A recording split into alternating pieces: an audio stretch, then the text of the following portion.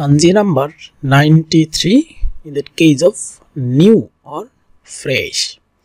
New or fresh. So here how to write? So this is very interesting. When you write it regular you can see this is interesting.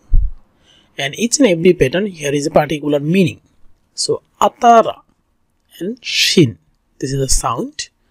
Atara shin. So word and meaning. So here atara. She kruma. Atarashi kruma. A new car atarashi so atara we know.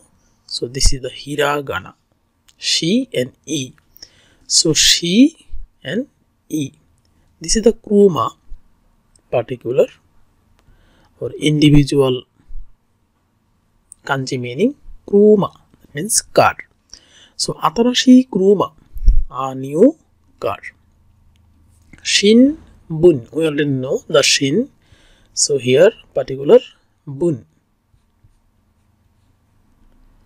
Shin bun. Newspaper. Shin bun. Newspaper. So here is shin nen that means new year. Shin nen so here is already know shin. So here is nen shin nen nen means year. So new year.